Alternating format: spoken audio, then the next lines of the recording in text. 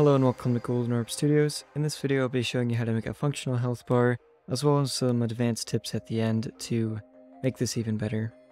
So the first thing we want to do is create a widgets folder, and this is just to keep everything organized. I'm just going to call it widgets. So open that up, and once we're in the widgets folder, right click, and then scroll down and go to user interface, and then we want to click the widget blueprint and then click the user widget and then we can just rename this to health bar. Double click on that to open it, drag the tab into there so it's bigger. And then you can see that we can't really drag anything in here yet and that's because we need a canvas. So we can type that in and drag in our canvas panel on top of this.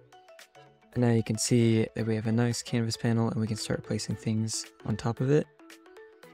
So let's type in progress bar. And for me, I want to have this on the bottom of the screen. So I'm going to anchor it on the bottom left side. And then I also want to add an image. So type in image, drag that in. And I also want that to be on the bottom left. So click on the progress bar and just to make things more organized, let's rename this to health bar. And then click the image and let's call this health image. And then next, let's go to our textures, right click, go to import. There's a free link in the description to download from Dropbox, so go ahead and do that so you can follow along with the tutorial. Once you do that, just import those and then you can see that they're blurry. And that's just because of the way they imported. So shift click and enter just to open all of those. And the first thing we want to do is make sure that the compression settings are set to user interface 2D and then also we want to make sure that the texture at the filter is set to nearest. Now you can see that it's no longer blurry. And then just do that for all of them And then we can click on the health empty, go to the health bar, and then we want to go to the background image, click the arrow. Then we want to click on the health full, go to the fill image and click the arrow. And then we also want to make sure that the margin is set to zero. And then we can see it in action if we turn the percent up. And you can see that it's not red, and that's because if you go to fill color and opacity, you just need to set these all to 1 and then it should be the right color. So next, let's just position this to be the right size and then let's do the same for the health image. Select the image, go back to the widget, select the image, and then go to brush and click the arrow and then we just want to scale this and match this to the pixels Alright, now that that's matched up, let's do shift click and then just move this over a little bit. And then let's make sure that the image is set to 1 so that it's always above the health bar. And now let's add the functionality. You can see that we can move this back and forth, but we need to link this to our character. So go to percent, click bind, create new binding. And before we do anything here, let's go to the event graph and then on event construct, we want to cast to the third person character or the first person character, whichever one you're using. And then for the object, we want to get player character and we need to cast to the player character so that we can get the information from it, like the health values. And let's delete these extra stuff. And drag out of this and promote to variable. You can rename it if you want, I'll just keep it like that. And next you want to go to the health bar and then we haven't created the variables in the character yet, so we still need to go to our third person blueprint, BP third person, and then we need to go to the variables, click plus, type health, and then change this to integer,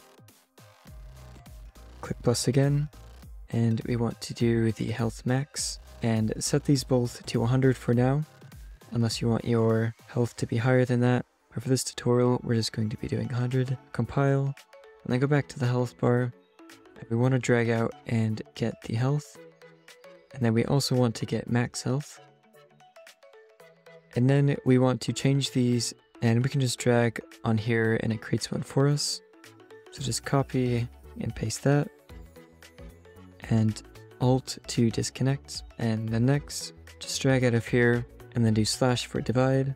And we're just going to divide these values. And we're just going to divide these values because the progress bar goes from 0 to 1.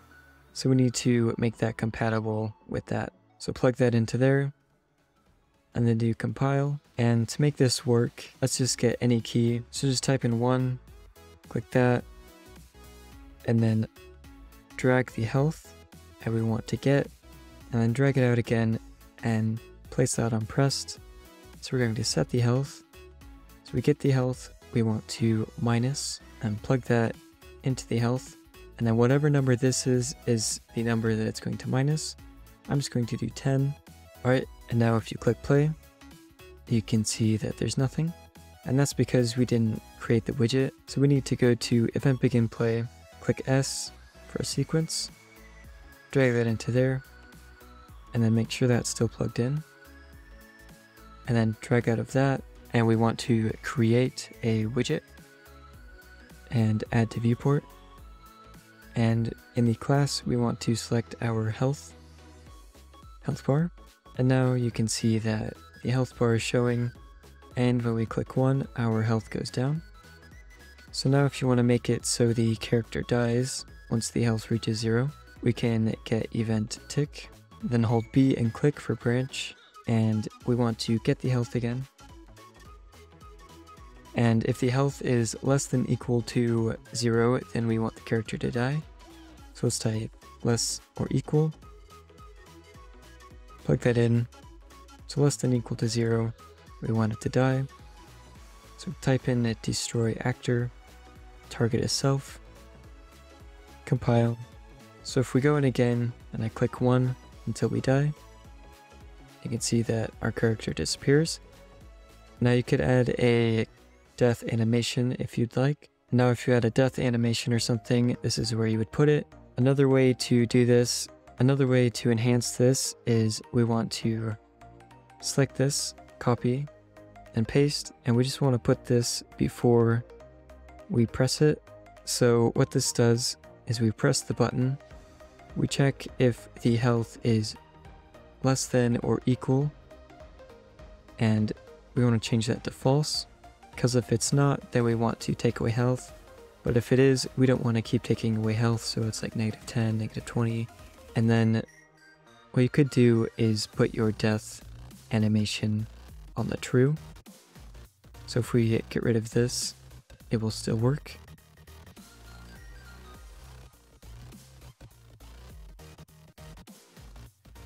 And you can see every time I get out of it that you get this error attempted to access BP third person, and that's because the health bar is using the reference from the character, but once the character is gone there is no reference, so, so it has no information to go with.